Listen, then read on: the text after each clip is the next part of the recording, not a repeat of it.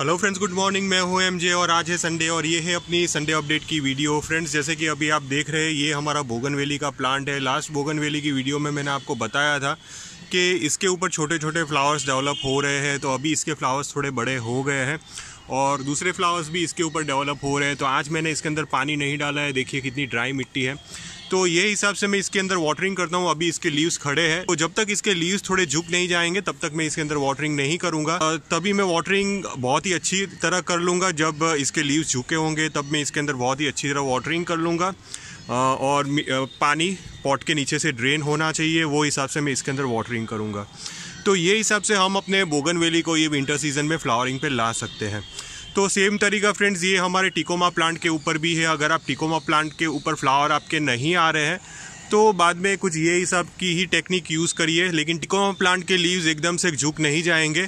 आपको सिर्फ़ मिट्टी चेक करनी है। दो दिन के बाद आप पानी दीजिए। अगर आपके यहाँ ग्रो बैग में ग्रो किया हो तो ऑलमोस्ट दो तीन दिन के बाद ही पानी दीजिए, क्योंकि इसके अंदर मॉइस्चर इंटैक्ट रहता है। और आगे चलते हैं फ्रेंड्स दूसरे हमारे तो प्लांट्स अभी विंटर सीज़न में अच्छे ग्रो हो रहे हैं। ये मेरे एलिफेंट ईयर्स के प्लांट है, जो अभी ये विंटर सीज़न की धूप बर्दाश्त कर सकते हैं और अच्छी खासी इनकी ग्रोथ भी हो रही है। और दिखने में भी अच्छे खासे ग्रीन है। ये देखिए फ्रेंड्स यहाँ पे इस, आपको ये वाइट कलर का कुछ छीटे आपको दिख रहे हैं। ये एक्चुअली मैंने फंगीसाइड का स्प्रे किया है सभी पौधों पे। मैं मंथली एक बार या तो 20-25 दिन में एक बार मैं अपने सारे पौधों के ऊपर फंगीसाइड का एप्लीकेशन कर देता हूँ बेबिस्टीन फंगीसाइड भी मैं फंगीसाइड का एप्लीकेशन करता हूँ, वो हफ़्ते में किसी भी टाइप का केमिकल पेस्टिसाइड का एप्लीकेशन नहीं करता। तो एक वीक में मैं अगर मेरे प्लांट्स की कंडीशन अच्छी हो तो बाद में एक वीक में मैं सिर्फ़ एक ही केमिकल पेस्टिसाइड का एप्लीकेशन करता हूँ। इससे हमारे प्लांट के लीव्स बर्न नहीं होंगे। और ये हमारे प्लूमेरिया है। प्लूमेरिया अभी फ्लावरिंग नहीं कर रहे ऑलमोस्ट स्टॉप कर दी है प्लूमेरिया ने फ्लावरिंग। और चलिए, आगे चलते, ये हमारे कनेर है। कनेर तो हमेशा मेरे यहाँ फ्लावरिंग करते ही रहते हैं। न्यू न्यू फ्लावर्स इसके ऊपर प्रोड्यूस होता ही रहता है। जब से मैंने ये प्लांट को ग्रो किया है, उसके बाद ये कंटिन्यूस मुझे फ्लावर्स दे रहे हैं। तो कनेर तो अभी बहुत ही अच्छे ग्रो हो रहे हैं। और ये हमारे गार्डनिया है। एक्चुअली ये जो देख रहे हैं फ्रेंड्स ये पेंट लगा हुआ है। कल मैं पेंटिंग का काम कर रहा था मेरे पॉट को। तो वो काम बहुत ही दिक्कत वाला काम है फ्रेंड्स बहुत ही इजी काम नहीं है। लेकिन फिर भी मैं आपको इजी टेक्निक बताऊँगा। एक्चुअली मैं पेंट लेके आया था, लेकिन ये जो कलर है, ये पॉट का तो मुझे कलर थोड़ा सही नहीं लग रहा है। अगर आपको लग रहा है तो प्लीज़ मुझे कमेंट बॉक्स में बोलिए कि ये जो कलर है, वो सही है। नहीं तो मैं दूसरा एक, थोड़ा लाइट कलर लेके आ जाऊँगा, थोड़ा रेडिश टाइप का। ये कलर मैं इसीलिए लाया था क्योंकि मैं अपने पॉट को थोड़ा ब्राउन कलर देना चाहता था, लेकिन लगाने के बाद मुझे थोड़ा सा इसके अंदर डाउटफुल लग रहा है। थोड़ा अच्छा नहीं लग रहा है लेकिन फिर भी अगर आपको ये कलर सही लग रहा हो मैं अभी थोड़ा कंफ्यूज हो गया हूँ। अगर आपको ये कलर सही लग रहा हो तो प्लीज़ आप मुझे कमेंट बॉक्स में कमेंट करिए कि ये सही है न, या नहीं। अगर ये कलर सही होगा तो बाद में मैं अपने सारे पॉट के ऊपर यही कलर लगा दूँगा। तो मैंने कुछ ये देखिए यहाँ पे भी मैंने कलर किया है। ऑलमोस्ट दस गमले मैंने कलर कर दिए हैं। तो ये जो दस गमले मुझे एक लीटर, यानी कि एशियन पेंट का एक लीटर कलर मुझे लगा है तो वो उसके ऊपर टोटली एक वीडियो में अपलोड करूँगा। लेकिन कलर सिलेक्शन का आप मुझे थोड़ा हेल्प करिए। अगर ये कलर सही हो तो बाद में इसमें का ही कलर लाऊँगा। अगर दूसरा कोई कलर लाना हो तो प्लीज़ आप मुझे सजेस्ट करिए।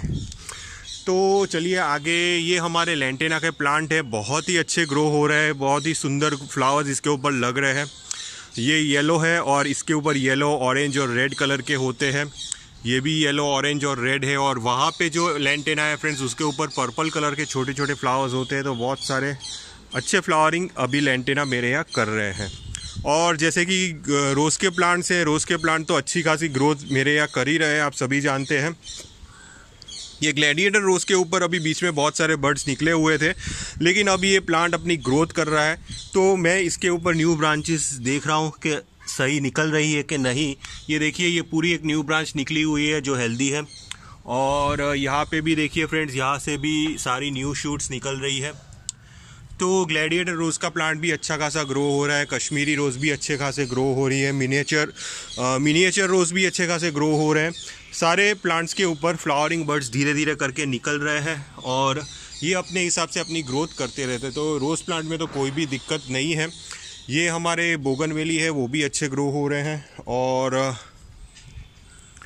और ये हमारे कॉक्सकोम के प्लांट है फ्रेंड्स देखिए कितना खूबसूरत फ्लावर है इसका। तो ये जो यहाँ पे आप देख रहे हैं फ्रेंड्स ब्लैक कलर का आप देख रहे हैं, अगर आपको दिख रहा हो तो ये ब्लैक कलर के इसके सीड्स होते हैं। तो ये सीड्स हवा से ज़रिए या तो बीज के ज़रिए इधर उधर दूसरे गमले में चले जाते हैं और वहाँ से ये प्लांट अपने आप ही ग्रो हो जाता है। अगर आपको इसके सीड्स भी कलेक्ट करने हैं तो बहुत ही ईजी चीज़ है। जैसे कि आप देख रहे हैं ये फ्लावर को हमें कट कर लेना है। कट करने के बाद अगर आप फ्लावर के ऊपर कुछ उसको थोड़ा हाथ उसके ऊपर लगाएँगे तो आपके हाथ में इसके सीड्स आ जाएँगे। तो बहुत ही इजी गोइंग प्लांट है और आपके गार्डन में एक बार लग जाएगा ये प्लांट तो बाद में आपको उखाड़ के फेंकना पड़ेगा। इतनी क्वांटिटी इसकी बढ़ जाएगी और दिखने में भी बहुत ही सुंदर लगता है फ्रेंड्स अगर आप ये प्लांट को बंच में रखेंगे तो बहुत ही अच्छा लगेगा।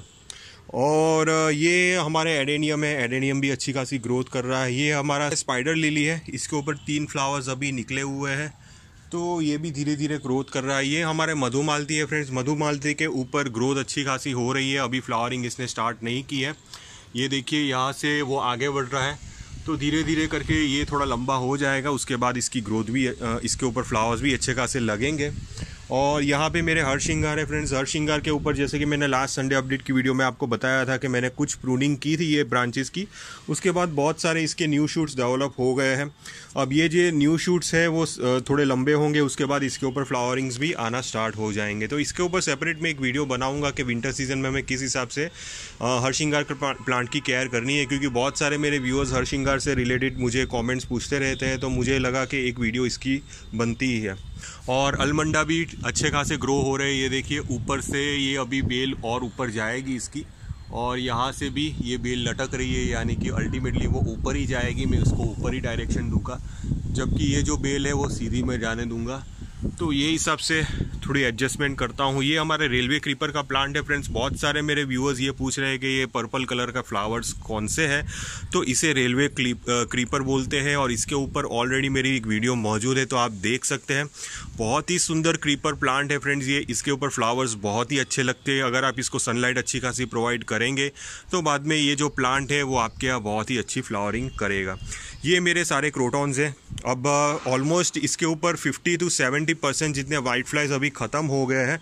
मैं आपको दिखा देता हूँ वाइट फ्लाइज की डेड बॉडीज़ तो ये जो देख रहे हैं फ्रेंड्स ये क्रोटॉन्स इसके ऊपर वाइट फ्लाइज का अटैक बहुत सारा हो रहा था और इसकी मिट्टी देखिए, मिट्टी के ऊपर अगर आपको ये दिख रहे हैं वाइट कलर के, ये ये देखिए, ये सारे वाइट कलर के फ्लाइज हैं जो मर के पड़े हुए हैं। तो नीम पेस्टिसाइड और रोगोर पेस्टिसाइड ऑल्टरनेटली मैं अपने प्लांट के लीव्स के ऊपर स्प्रे करता रहता हूँ, जिसकी वजह से धीरे धीरे करके ये मरने लग जाते हैं और आपकी प्लांट की सॉइल के ऊपर आपको दिख जाएँगे। देखिए। तो सारे इसकी डेड बॉडीज़ पड़ी हुई है, ये देखिए, इसके अंदर भी डेड बॉडीज़ पड़ी हुई है इसकी। तो धीरे धीरे करके वो तो डिकम्पोज हो जाएँगे, उसका टेंशन नहीं लेना है। लेकिन हमें पेस्टिसाइड का एप्लीकेशन उसके पीछे करना पड़ेगा, क्योंकि वाइट फ्लाइज बहुत ही आसानी से नहीं जाते हैं। तो किस हिसाब से हमें वाइट फ्लाइज को भगाना है, उसके ऊपर भी मेरी एक वीडियो मौजूद है तो आप देख सकते हैं। अभी रिसेंटली मैंने वो वीडियो अपलोड की है। और रबर प्लांट को देख लेते हैं। बहुत ही बढ़िया ग्रो हो रहे हैं। देखिए फ्रेंड्स जो रबर प्लांट यहाँ से बंदरों ने कट कर दिया था, उसके पीछे इसने नई ब्रांचेस डेवलप कर ली है। एक, दो और तीन ब्रांच इसकी डेवलप हो गई है और चार ब्रांच इसकी डेवलप हो गई है। तो चार नई ब्रांचेस इसकी डेवलप हो गई है। तो ये प्लांट थोड़ा बुशी हो जाएगा। तो बंदरों ने तो अपना काम कर लिया, उसमें मेरा काम हो गया। तो मुझे प्रूनिंग करने की प्रॉब्लम नहीं है और ये हमारे अनार के प्लांट है तो अनार का प्लांट ठीक ठाक ग्रो हो रहा है, कोई स्पेशल नहीं है इसमें। तो एक यहाँ पे फ्रूट रेडी हो रहा है, यहाँ पे एक फ्रूट रेडी हो रहा है, यहाँ पे एक फ्रूट रेडी हो रहा है और यहाँ पे एक फ्लावरिंग और फ्रूट्स रेडी हो रहे हैं और यहाँ पे देखिए फ्रेंड्स छोटे छोटे दूसरे फ्रूट्स रेडी हो रहे हैं। तो इसके ऊपर फ्रूट्स और फ्लावर्स तो रेडी हो जाते हैं, लेकिन गिलेरिया इसको ख़राब कर देती है। तो ये प्लांट तो अपना काम करता है, लेकिन गिलेरिया भी अपना काम करती है और ये हमारे येलो टिकोमा है, इसके ऊपर फ्लावरिंग्स आना स्टार्ट हो गए ये देखिए। ये फ्लावरिंग की एक स्टिक निकली हुई है, बहुत ही जल्द इसके ऊपर येलो कलर के बहुत ही सुंदर फ्लावर्स देखने को आपको मिल जाएँगे। तो तब भी मैं आपको संडे अपडेट की वीडियोस में आपको दिखा दूँगा। ये हमारे टगर के प्लांट हैं, अभी ठीक ठाक ग्रो हो रहे हैं, क्योंकि इसके ऊपर येलो लीव्स होके इसके बहुत सारे लीव्स झड़ गए हैं। क्योंकि जैसे ही क्लाइमेट में चेंजेस आते हैं तो कुछ समर प्लांट्स अपने लीव्स गिरा देता है। तो ये भी एक समर प्लांट है, इसको गर्म क्लाइमेट बहुत ही अच्छा लगता है। तो रात के टाइम जब ठंड पड़ती है तो इसके लीव्स धीरे धीरे करके येलो हो जाते हैं और गिर जाते हैं। तो इसमें घबराने की बिल्कुल भी ज़रूरत नहीं है। नॉर्मल कंडीशंस के हिसाब से ही हमें इसको ट्रीट करना है। जैसे आप पानी देते हैं, वैसे ही पानी दीजिए। ज़्यादा ओवर वाटरिंग ना करें, मिट्टी को वेट ना रखें, गीला ना रखें। जब इसकी मिट्टी ड्राई हो, तब इसके अंदर आप अच्छी तरह पानी डाल दें। और यहाँ पे चलते हैं फ्रेंड्स यहाँ पे हमारे सारे विंकास बहुत ही खुश नज़र आ रहे हैं। देखिए, बहुत ही खूबसूरत इसकी ग्रोथ हो रही है। फ्लावरिंग्स भी कर रहे हैं। ये सारे विंकास ने फ्लावरिंग की है। ये देखिए, बहुत ही बढ़िया अभी ग्रो हो रहा है।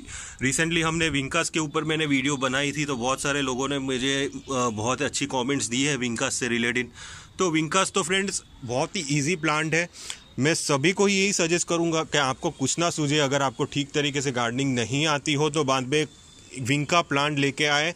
विंका प्लांट जितने हो सके लेके आए, क्योंकि ये एक चीप प्लांट है, सस्ता है, और आपकी गार्डन की खूबसूरती को बहुत बढ़ाएगा। आप इसको बंच में रखिए, कभी भी सिंगल प्लांट ना रखें। इसको जितना हो सके उतना बंच में रखिए। अगर ये बंच में रहेंगे तो इसके ऊपर बंच में आपको फ्लावरिंग देखने को मिलेंगे और आपके गार्डन का लुक भी बहुत ही अच्छा देंगे। तो ये हमारे विंकास भी अच्छे ग्रो हो रहे हैं और यहाँ पे हमारे मैरी के ऊपर ढेर सारे फ्लावर्स लगे हुए हैं। ये देखिए, बहुत सारे फ्लावर्स इसके ऊपर लगे हुए हैं। तो मैरी अभी विंटर सीज़न में बहुत ही अच्छे खुश नज़र आ रहे हैं और अच्छी एंजॉय कर रहे हैं विंटर्स को। और विंटर्स को एन्जॉय ठीक से नहीं कर पाते, ये मेरे हाई बिस्कस ओके कंडीशन में नॉर्मल है, ज़्यादा मैं ये नहीं बोलूँगा, बहुत ही अच्छी है। नॉर्मल कंडीशन है, कुछ पेस्ट इसके ऊपर लगे हैं फंगस वगैरह तो मैं फंगी साइड का एप्लीकेशन मैंने इसके ऊपर भी किया है, ये देखिए। ये पत्तों के ऊपर आपको वाइट वाइट कलर का आपको पाउडर दिख रहा है तो मैंने इसके ऊपर फंगीसाइड का भी एप्लीकेशन किया है। तो जब प्लांट के ऊपर फंगस या तो कुछ पेस्ट लग जाते हैं तो प्लांट थोड़े स्ट्रेस में रहते हैं। और वैसे भी अभी विंटर सीज़न स्टार्ट होगी तो विंटर सीज़न में भी ये प्लांट को थोड़ी दिक्कत होगी। जैसे ही ठंडियाँ ज़्यादा गिरेगी तो इसके लीव्स थोड़ी येलो होना स्टार्ट हो जाएँगे। तो ये कुछ प्रॉब्लम होगी, लेकिन जैसे ही जनवरी फेब्रुवरी का महीना स्टार्ट होगा, उसके बाद ये प्लांट भी हमारे बहुत ही अच्छे ग्रो होना स्टार्ट हो जाएँगे। तो अभी हम चलते हैं हमारे लेमन प्लांट की तरफ़। तो ये है हमारा लेमन प्लांट जो बस नॉर्मल कंडीशन में है। कुछ ऐसा एक्स्ट्रा नहीं हुआ है ये प्लांट के ऊपर। जैसे कि फ्रूट्स बीच में बीच में इसके ऊपर फ्रूट्स लगे थे, लेकिन फ्रूट्स भी वो झड़ गए। तो कुछ नए फ्लावर्स भी नहीं आए और कुछ नए फ्रूट्स भी नहीं लगे हैं। तो बस नॉर्मली ये अभी प्लांट ग्रो हो रहा है। कुछ पेस्ट इसके ऊपर भी लगे हैं। मैं आपको दिखा देता हूँ। ये देखिए, यहाँ पे आप देख रहे हैं फ्रेंड्स ये पेस्ट लगे हुए हैं। तो पेस्टिसाइड का एप्लीकेशन मुझे इसके ऊपर करना पड़ेगा। अगर नहीं किया तो बाद में ये प्लांट ज़्यादा डैमेज हो सकता है। तो हमें प्लांट को डैमेज होने से पहले बचाना है, इसीलिए पेस्टिसाइड का एप्लीकेशन करना ज़रूरी हो जाता है। तो ये हमारे लेमन प्लांट है जो अच्छी खासी ग्रोथ कर रहे हैं, लेकिन फ्लावरिंग्स नहीं लग रहे हैं। तो फ्रेंड्स ये है अपनी संडे अपडेट की वीडियो लेकिन आप मुझे सजेस्ट करिए कि पेंट सही है या नहीं तो मुझे भी थोड़ा आइडिया आएगा। कौन सा कलर मुझे सिलेक्ट करना है ये पॉट के लिए। तो आप प्लीज़ मुझे थोड़ी हेल्प करिए। बाकी जो भी प्लांट से रिलेटेड आपको कोई भी क्वेरीज हो तो आप मुझे कमेंट बॉक्स में पूछ सकते हैं। अभी थोड़ा वैकेशन में पड़ा हूँ फ्रेंड्स फैमिली को थोड़ा टाइम देना पड़ता है। अब जब छुट्टियाँ आती है तो फैमिली ज़िद करती है कि हमें बाहर ले जाओ। तो प्लांट्स के लिए टाइम मुझे बहुत ही कम मिल जाता है। फिर भी मैं एडजस्ट करके टाइम निकाल रहा हूँ और आपके कॉमेंट्स का भी आंसर दे रहा हूँ। तो सभी चीज़ें मैं कर रहा हूँ। पूरा दिन मेरे वैकेशन का टाइम भी अभी थोड़ा बिज़ी ही जा रहा है।